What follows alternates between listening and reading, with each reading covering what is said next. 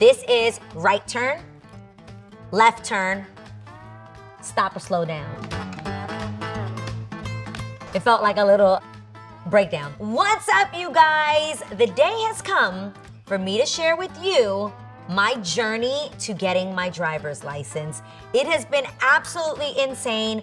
Literally, I tried years ago, gave up, then tried multiple times again just recently, and it has been insane. So, today's episode is all things Journey to Driving.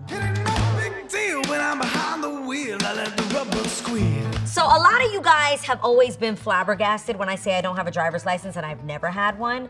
I don't know why it shocks so many of you. I feel like if you were a true native New Yorker like myself and a proper Manhattanite, you would be like, duh, of course she doesn't have a driver's license. Like, where are you going in that car? And when you arrive, where are you parking it? My mom never had a license. My sister didn't have, I actually didn't know any women in my family that had a license. So I just always thought, like, this is just the way it is. But obviously, when I got to Los Angeles, people would bug out over the fact that I didn't have a license. Some of you may think that, like, I've just never wanted a license. The lie detector determined that was a lie. I've just never spoken about the fact that I did attempt to get it in like my early 20s. I was dating Rob at the time and I would drive his Range Rover Sport. I don't know if I was very good at it at the time, but I just figured, hey, if I'm whipping this, I can go take my test. And I actually was taking lessons uh, with a driving instructor. He set up the appointment. I went and took my road test, and that did not go as planned. Your girl didn't fail. No, sir. She got disqualified. If you're wondering what the difference is between failing and a DQ, it is the moment someone has to step in to save your life. You are automatically disqualified from getting a license. I was coming up to an intersection that I was supposed to make a left at, and as I pulled up, the light went red. Granted, at some point, yes, it was yellow. But I stopped because I saw that it went red, and in my mind, I'm like, yo, you can't run a red light on your driving test.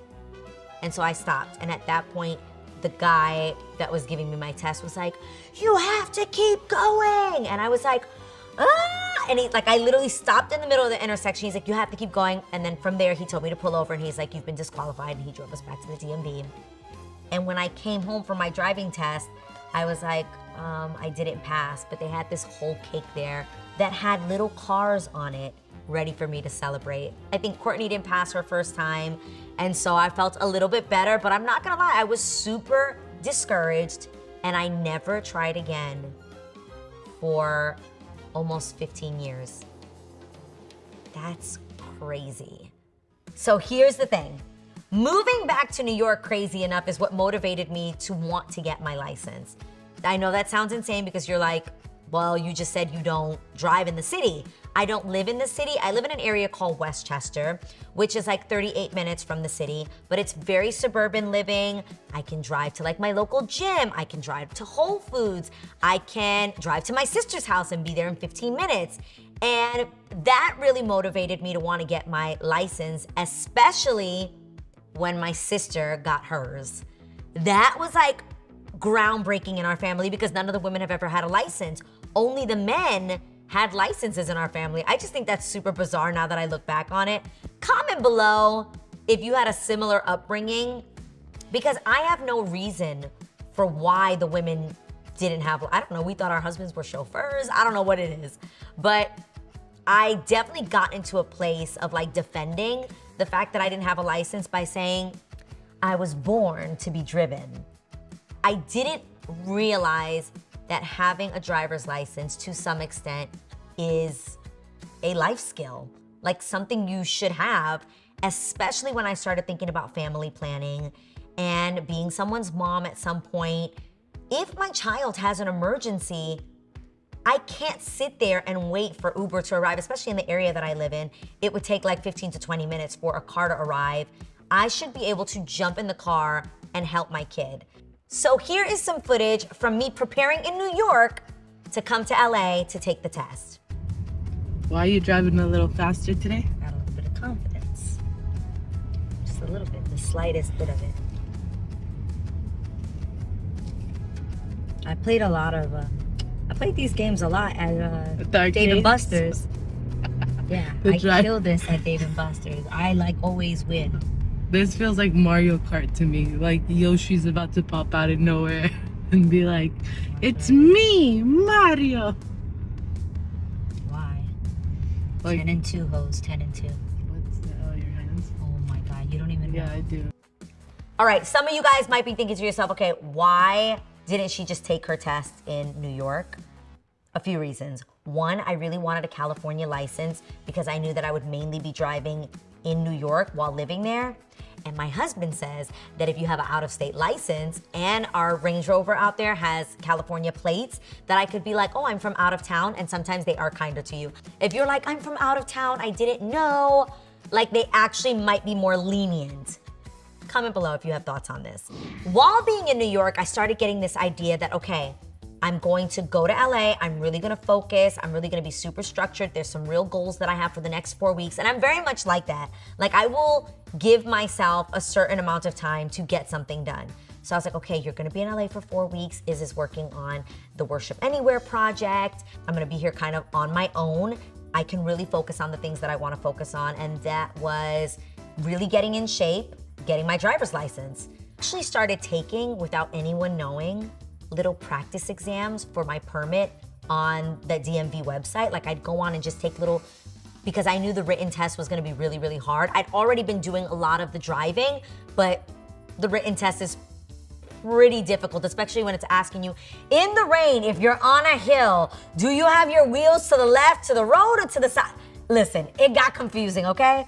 I was so nervous. I think you also get um, three chances to take the test. I think you have to wait like a little bit and then go take it again.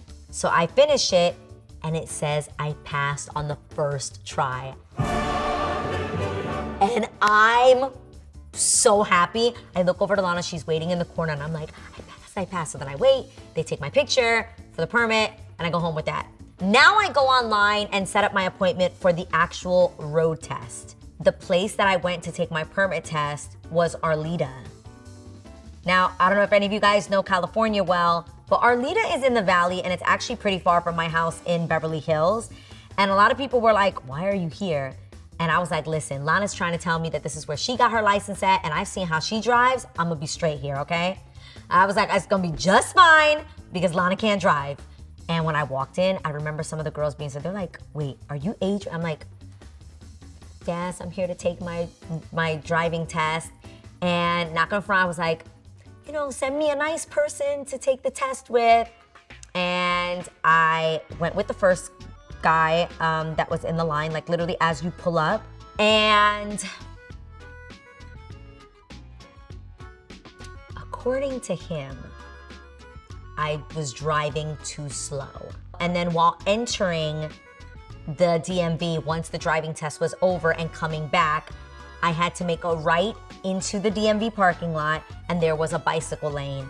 And I didn't check my blind spot for a bicyclist, and I just went for it. And that, my friends, is how I failed my driver's test. Right then and there, sitting in the parking lot, I don't even pull off. I literally make the next appointment. Can't stop, won't stop. We gonna get this license, okay?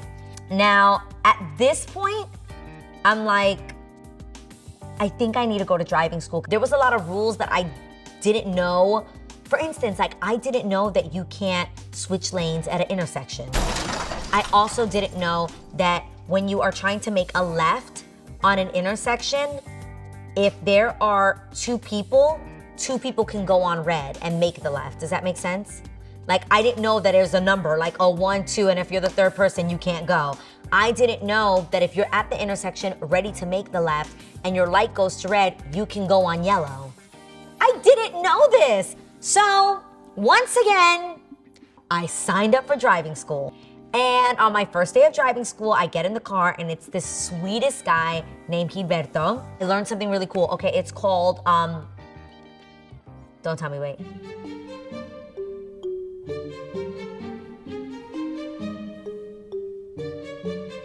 Smog. Smog is the four things that you have to use, kind of like checklists in your mind that you go through in order to change lanes. So, smog is signal, mirrors, over the shoulder, go. Isn't that good?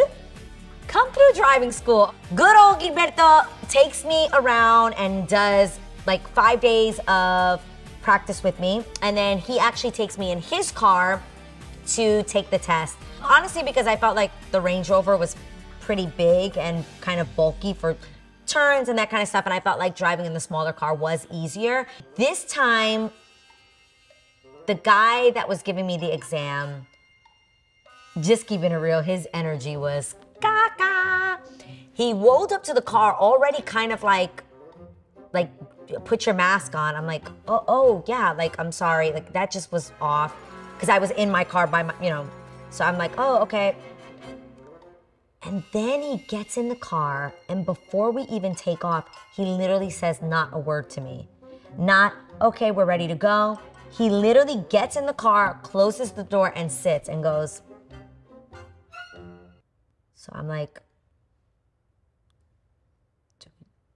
Are we ready to go? And he just looks at me and goes, Yes, Adrienne, you are taking a test. So I'm like, Oh, okay. At one point, we ended up getting at a, a red light, and he asked me to make a right. In California, you can make a right on red. Obviously, you just have to look around, make sure that you're good to go. So I stopped at the red light, and then I pulled up a little bit, turning my wheel to the right, as Gilberto taught me. So you pull up, turn a little bit, and you look. There was a car two lights down that was on its way to us to pass us. And I was like, oh, you're two, I have two lights down, I can go. As I go to press the gas, he slams the brake and says, That guy is speeding. I already knew right then and there I had failed. I knew it because he pressed the brake. And remember from my very first driving test back when I was like 23, 24, I failed because somebody had to step in, intervene. So I knew right then and there I had failed. We're gonna get it. We're gonna get it. Get the next one. And so I went online, literally again, in the parking lot. The next date was like six days away. And I'm like, okay, six days. Gilberto, me and you, we are focused. We are gonna get this done. And he's like, yes, yes, yes, yes. So I literally would shoot the show that I'm shooting, and Gilberto would pick me up from set, drive around for two hours, and then take me home. So I was super, super focused, and literally, we're now four days before I have to leave, and it is the day to take my test. And I don't know why I felt nervous, but at the same time, I had really convinced myself that I don't go to jail if I fail this test. Nothing in my life changes if I fail this test. If I fail this test, God, maybe it's that you don't want me on the road. Like, I literally was having full on conversations with the Lord, like, listen, Lord, Jesus, if you know I'm gonna take myself out by driving, don't give me my license. I don't even want it. But if it's your will and you think I am ready, then I, I should pass. So we get there early. I go inside to do my paperwork, and everybody kind of starts gathering around, and they're just like, "You got this! Like you're you're gonna be fine! Like don't get nervous. It's all good." And I was like, "Thank you guys," and they've always been so sweet. I just want to give a shout out to the Arleta DMV. They are such kind people, and I hate that, you know, the DMV gets a really bad rep. And I even put it on my Instagram that day. I was like, I had a fine time at the DMV today. Everyone was super helpful and super kind. So I'm in the line again, back in my car. I got my paperwork. You wait in the line to come up. And in that moment, I saw this woman that seemed really joyful. I was like, please, God, like, I just feel like she's the person that would not make me nervous. And I, I just, I hope I get her. And so at some point, sure enough, she walks up to my car and she's like, Hi, I'm Martha. She gets in the car with me and we start driving. And I actually explained to her that it's crazy how you can literally drive every day, do an amazing job, and feel great. And the moment you know you're getting tested, there is something that happens where you're just like, you question everything you're about to do. She just made me feel comfortable. She was like very chill and she's like, make a right here, make a left there. And we come back to pull into the DMV. I'm still like hopeful, like, man, I, I hope I pass this, man. If not, it's fine. I'll come back tomorrow and I'll get a permit and I'll try to take it again. And she literally turns to me and goes, You did great. You passed. And I, I could cry right now thinking about it just because it's something I didn't realize how badly I wanted it. I literally just started crying. I was crying and I was like, I just, I thank you for being so gracious and so kind and making me feel comfortable. So, shout out to Martha because it is official, you guys. I have a driver's license. She got out of the car and I just started crying. And I was waiting to see if Gilberto was gonna come around. I tried to pull myself together. He comes around, I tell him I passed, and then I started filming this video right here. I just got my license. I passed. The way that I just cried in the car. By the way, she said you did a great job, and she was the nicest woman. Shout out to Martha. Martha is phenomenal. She's amazing. Guys, I am a licensed driver. I want to literally scream and jump around. Okay, I'm going to get the license. The next call was to Israel. He's like bugging out. He's like, oh my gosh, you're, like, he's like, baby, I knew you could do it. Then I called Lana, and then I actually uh, ended up sending a group chat picture. This is actually the picture right here that I ended up sending to my family group chat, telling them all that I had gotten my driver's license. I also want to know if you have any cute accessories for a car. Put the link right here, y'all. Help me out. I want to make my car so cute. Maybe that's another episode. Would you guys want to see all the things that I keep in my car? Because I'm going to have it completely redone for me. Because your girl has a license. Don't forget to subscribe.